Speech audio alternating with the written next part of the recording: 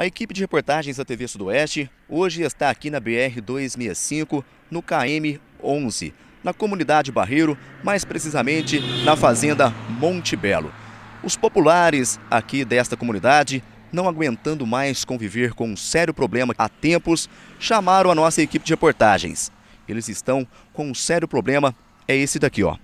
Esta estrada que dá acesso à comunidade, várias famílias residem aqui e há muito tempo eles estão pedindo aos órgãos competentes de São Sebastião do Paraíso alguma providência de melhorias nessa estrada. Mas até o momento, promessas houve, mas atitude nenhuma aconteceu.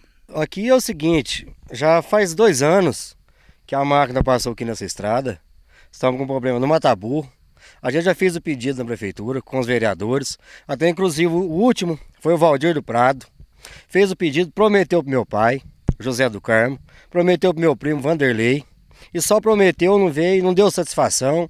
E agora a época de colheita de café, como que passa um caminhão com, com café aqui no Matabur quebrado, a ponte ali é quebrada também, vários buracos na, na estrada, então tá difícil, porque a gente tá aqui, como se diz, isolado aqui, entendeu? A comunidade do Barreiro aqui pede uma providência dos órgãos competentes para poder solucionar aqui para a gente. E quando chega a época de chuva por aqui, Paulo, como que é? Nossa, quando chega a época de chuva é uma calamidade. Não, é muita subida, muito buraco. Então chove, faz lama, a gente pede cascalho, não, não cascalham. E quando vem arrumar também, ele só cavuca um barranco e, e dá só uma tapiada, não corta a estrada, entendeu? Então encrava, a gente tem que estar tá empurrando. Tem criança, ali em casa. Então é difícil o deslocamento para São Sebastião do Paraíso. Até mesmo os pirueiros que transportam os alunos passam apertado nessas estradas, né? Isso, inclusive tem um, o Vando aqui, né? Que mora aqui, o filho do meu primo.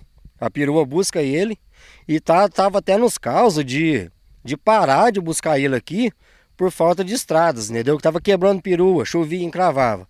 Até que o meu primo Vanderlei tomou a ação de pegar o trator dele com uma lâmina e um enxadão, cavucar e fazer para a perua não poder deixar de vir buscar o filho dele. Você gostaria que alguém tomasse alguma providência? Nossa, na hora. Eu, em nome de toda a comunidade aqui do Barreiro da Fazenda Monte Belo, queria que alguém tomasse a providência, não deixasse o pessoal da zona rural isolado, como a gente está aqui.